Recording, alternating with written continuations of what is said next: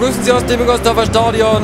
Wir begrüßen Sie aus Köln am letzten Spieltag und freuen uns auf das große Karnevals-Fasenachtsduell der 1. FC Köln gegen den ersten FSV Mainz 05.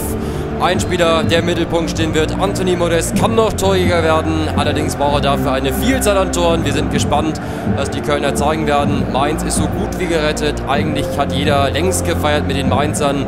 Sie können theoretisch noch absteigen, müssen aber deftig verlieren und parallel muss alles gegen Mainz laufen. Das ist nicht zu erwarten für das Team von Martin Schmidt. Eine Überraschung bei den Kölnern. Marco Höger in der Startelf, deswegen Hector links in der Verteidigung. Heinz spielt auf der Position, die eigentlich Subotic zugedacht war. Und während wir die Kölner Fans sehen im Süden des Stadions, schauen wir auf die Mainzer Mannschaft mit Janik Huth weiter im Tor. Hat Lössel abgelöst als Mainzer Torwart, Brosinski, Balogun, Bell, Donati davor, Gibbermann und frei im Mittelfeld vorne John Cordoba als Spitze bei den Mainzern. Und Sie sehen es bereits, die Kölner haben einfach nochmal das Karnevalstrikot ausgepackt, das sie eigentlich nur zu Beginn und zum Ende der Saison anziehen. Jetzt also auch am letzten Spieltag nochmal passend zum Spiel gegen die Mainzer. Dieses ungewöhnliche Trikot, ganz im Zeichen der Stadt Köln. Wir sehen den Kölner Torwart Timo Horn, der nicht nominiert wurde für den Confed Cup, aber heute die Saison ausklingen lassen kann. Und vielleicht geht ja noch was Richtung Europa League. Das wird sich alles zeigen heute. Mit einem Sieg ist Köln höchstwahrscheinlich dabei im Europapokal. Mainz beginnt in den gelben Trikots, Köln in weiß von rechts nach links. Auf geht's in das letzte Spiel der Spielzeit hier in Köln.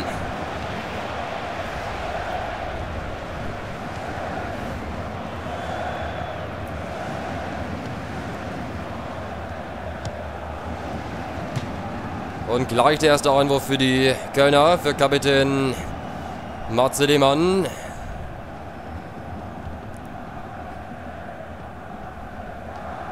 Jonas Hector nominiert. Wird in Russland dabei sein. Unter anderem in Sochi wird gespielt. Gegen Australien und Kamerun. Wir freuen uns drauf auf diese WM-Generalprobe. Lehmann, gleich die Chance. Und noch nicht das Tor. Nächste Chance, Lehmann. Hut wird ab. Jetzt ist der Ball drin. Dritte Chance. Das Tor für Köln. Sie haben es genutzt. Sie haben es gleich gemacht. Das Tor. Jojic. Und das ist die Führung gegen Mainz 05. Geht das deftig los für das Team von Martin Schmidt. Jojic macht es dann im dritten Anlauf weil Mainz den Ball nicht wegkriegt, tut es zweimal dran und schafft es dann nicht zu verteidigen. 1 zu 0. Köln ist dran in der Europa League. Köln kann es schaffen. Modest sofort da. Lehmann beteiligt. Ganz kurioser Start für die Kölner. Geht richtig gut los. Milos Jojic, vor einigen Jahren aus Dortmund gekommen. Und der Traumstart für den FC. Nach nicht mal 10 Minuten schon das Tor gegen die Mainzer.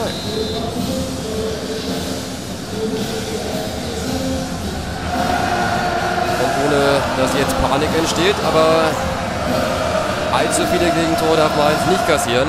Sonst könnte es nochmal spannend werden. Kein Foul von Innenverteidiger Heinz an Jean Cordoba. Lukas Klünter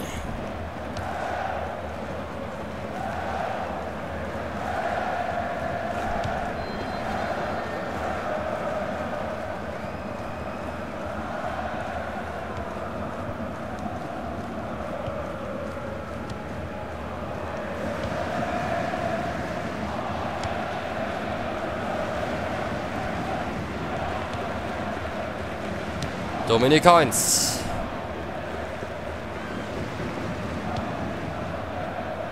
Wieder Klünter. Und Mainz mit Fabian Frei. Laufduell mit dem Kölner Torschützen Jojic. Flank ist gut. Rausgefaustet von Horn. Nächster Anlauf Östonali. Und Cordoba gesucht. Rausgeköpft. Gibt den ersten Eckstoß der Partie für die 05er. Heinz war dran auch schon seit zwei Jahren in Köln, kam damals aus Kaiserslautern, hat die großen Jahre erlebt mit dem FCK, dreimal fast aufgestiegen in die Bundesliga und jetzt gesetzt beim FC, meistens links in der Verteidigung, wenn Hector im Mittelfeld spielt. Heute, weil Subotic kurzzeitig ausfiel auf der Innenverteidigerposition neben Jonas Hector. Eckstoß kein Problem. Für Kölns Torwart Timo Horn hatte sich Chancen ausgerechnet dabei zu sein in Russland, aber Am Ende gab es doch kein Vorbeikommen. Der Mann, der im letzten Sommer bei Olympia dabei war, Silbermedaillengewinner von Rio, eine großartige Leistung damals gezeigt hat beim Olympischen Turnier, gefeiert hier in Köln, weil er dabei war. Dazu ja Jonas Hector, Nationalspieler und Lukas Podolski, ehemaliger Kölner, verabschiedet. Das sind die großen Hoffnungen der Kölner Richtung Nationalmannschaft.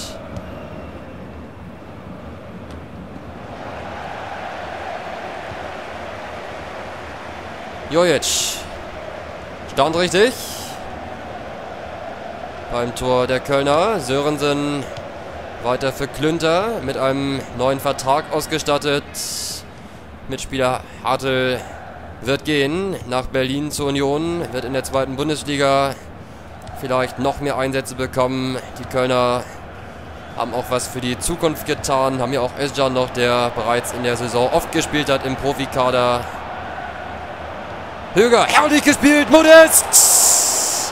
Und Hut noch dran, Riesentat vom Mainzer Torwart von Yannick Hut, der sich endlich zeigen kann. Kriegt die Hand noch an, wichtig vom Mainzer Schlussmann.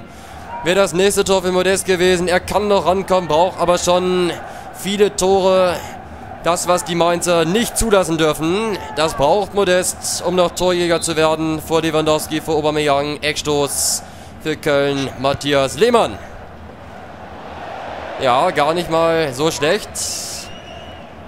Stellt den Mainzer frei vor Riesenprobleme, war flach vor den kurzen Pfosten getreten, ganz ungewöhnlich. Und frei verstolpert den Ball. Nächste Under für den ehemaligen St. Pauli-Spieler Lehmann.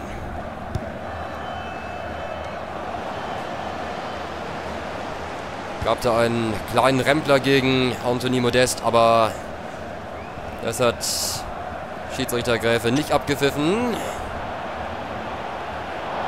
Ball ins Nichts für Julia Osako. Abstoß für Janik Huth. Und wir sehen nochmal diesen kuriosen Auftakt. Keine drei Minuten gespielt. Hut war noch dran. Beim zweiten Anlauf von Lehmann, der erst den Pfosten traf. Dann war Hut zur Stelle und dann stand Jojic richtig, konnte einfach reinschieben. Ganz kurioser Beginn, der die Mainzer mal kurz zittern ließ. Jetzt haben sie zumindest mal die Kontrolle bekommen, aber richtig gut sieht das nicht aus bei dem Team, das am letzten Wochenende mit einer Willensleistung, mit einem Erfolg gegen Frankfurt aller sie nach die Klasse gehalten hat. Sie müssen nur dann zittern, wenn Hamburg das Spiel gewinnt und Mainz ganz hoch verliert, dann könnte es nochmal bitter werden.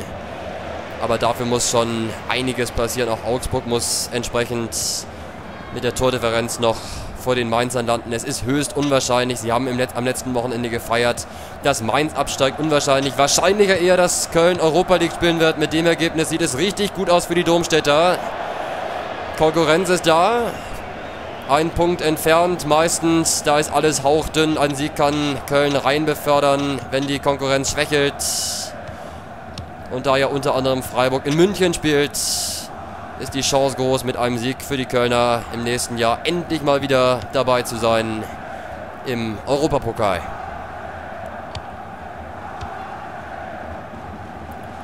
Muto. Jebermann.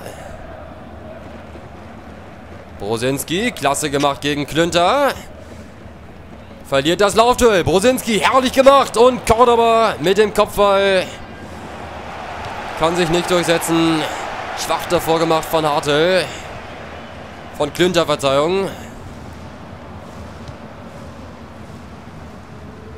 Wieder am Ball.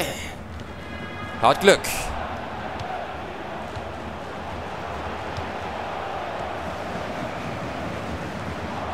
Marco Höger, der Kölner, geboren in dieser Stadt und jetzt nach Jahren auf Schalke auch angekommen beim FC. Bietenkurt, klasse gemacht.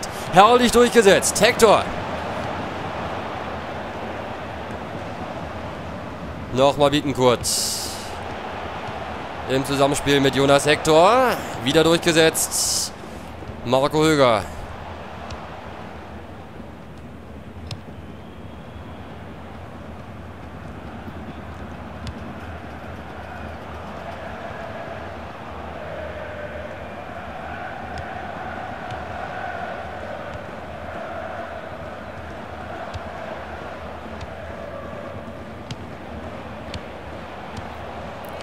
Das geht alles viel zu schnell für die Mainzer Modest.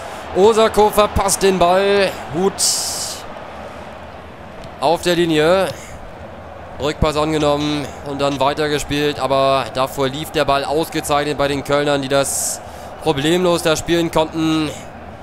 Mit Direktpässen. Einmal quer durch die Mainzer Verteidigung. Brosinski, halbe Stunde gespielt. Es ist alles im Lot für Mainz. Es geht einfach nur darum, ein Debakel zu vermeiden, es ja nicht spannend zu machen. Aber ein 10-0, das wird nicht passieren aus Sicht der Mainzer. Und auf der anderen Seite hat Köln alles getan, wenn es dabei bleibt, was sie selber tun konnten.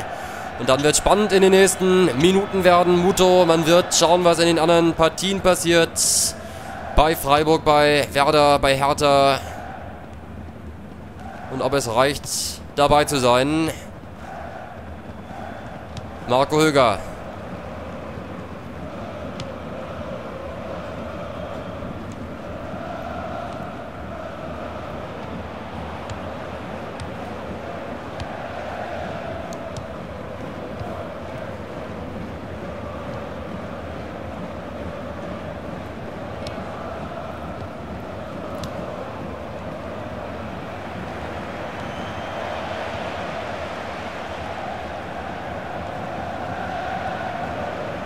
Balogun. Früh angelaufen von Modest und Osako. Donati. Gerbermann weiter für frei. Muto links ist Platz. Rayo mal wieder gegen Lukas Klünter. Hat Riesenprobleme auf seiner Seite mit Rayo, mit Brosinski. Nächste Flanke wird gefährlicher. Gerade über links, über Brosinski, über Rayo geht es, weil Klünter doch seine Probleme hat mit den Mainzer Außenspielern. Klar, der ist relativ jung, relativ unerfahren in der Bundesliga. Das haben die Mainzer sich jetzt ausgeguckt, dass sie über seine Seite kommen und Hector versuchen zu vermeiden, denn die sind bärenstark auf der linken Seite. Bietenkurt, Hector machen das richtig stark. Klünter hat seine Probleme. Eckstoß hauen, rausgefaustet wieder gerade so angekommen. Aber da wanken die Kölner jetzt doch bedächtig bei Reingaben, gerade von links, bei Ecken oder auch bei Flanken aus dem Spiel. Haben sie Probleme. Klünter.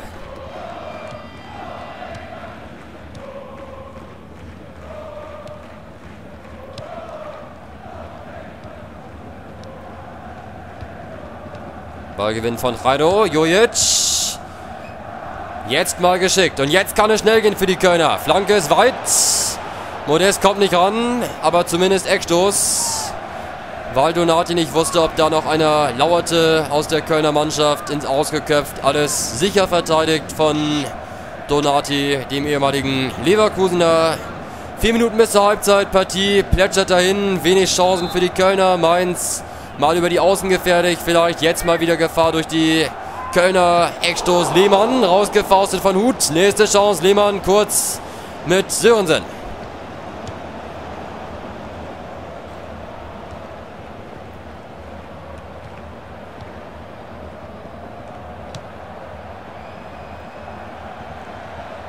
Klünter. Zu scharf gespielt für Lehmann. Mainz mit Östonali und Donati. Gibbermann. Rosinski.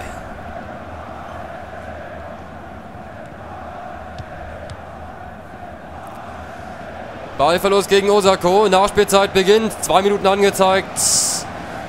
Und dann würde Köln eine Halbzeitführung mitnehmen. Dann hätten sie selber das getan, was sie tun mussten. Ein Sieg gegen Mainz war Pflicht, um dabei zu sein, weil sie wissen, dass die Konkurrenz nicht dabei ist. Irgendjemand wird gewinnen. Umso wichtiger, wenn Köln es ebenfalls schafft. Modest hat selber noch seine Chance nicht gehabt. Jojic herrlich durchgedribbelt. Immer noch Jojic aufgehalten. Dann vom Kapitän von Stefan Bell, der gut stand, der das gut gemacht hat gegen Kölns Milos Jojic. Cordoba, Mainz kommt nochmal mit frei. Estonali, steil gespielt und er kommt an diesen Ball fast dran. Hector stand richtig. Halbzeit jetzt im Müngersdorfer Stadion. Köln führt durch das frühe, kuriose Tor von Jojic. Doppelschaus, Lehmann. Dann stand Jojic richtig, hat abgestaubt, hat das Tor gemacht gegen Mainz. Unterm Strich eine knappe Führung, die zwar verdient ist, aber die Kölner müssen sich steigern. Mainz hat alle Chancen, selber noch mit einem Unentschieden, einem Sieg alles klar zu machen. Müssen eigentlich nicht mehr wirklich zittern. Ein Debakel ist längst vermieden. Wir melden uns gleich wieder mit dem zweiten Durchgang aus Köln mit den letzten 45 Minuten im Müngersdorfer Stadion Köln gegen Mainz. Bis gleich!